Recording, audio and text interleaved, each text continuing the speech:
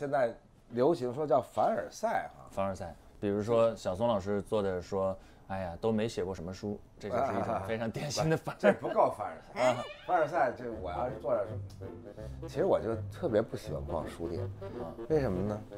都看过，这个他们写太慢了吧？他还不出这都看，但是其实你看一眼，确实也都看过。确实。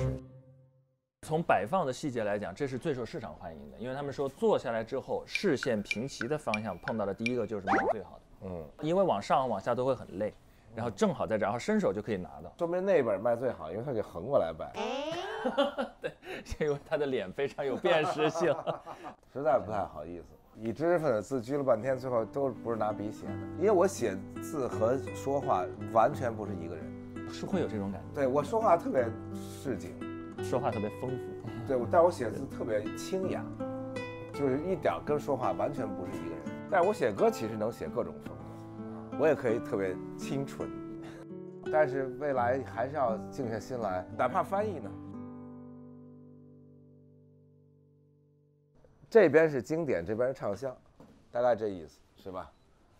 但是我觉得还行，因为我那就别提了。但是黄仁宇能这列入畅销书，我觉得还挺历史文化黄人，这还有许先生的，啊，对，许先生也也比较通俗，我觉得许先生比黄仁宇通俗。通俗一些。是的黄仁宇还是有很多因为历史，许先生讲通史，通史是非常容易通俗的。他是面向大众的。对对对，嗯黄仁宇还是有财税经济方面的就是专长的研究。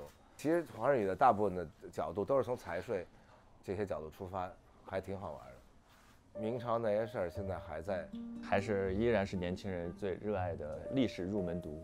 我每半年还我就我就自己就用手机会记个书单，嗯，这二零一九年下半年、二零年上半年、二零年下半年二一，你像汉街是武汉特别商业气息特别浓的一条街，正中间竟然有一大栋楼，一整栋楼都是书店，而且能活下来，这就是说明有文化呀。说明大家是愿意在上面消费还。有一百三十万在校大学生，这多吓人！天哪！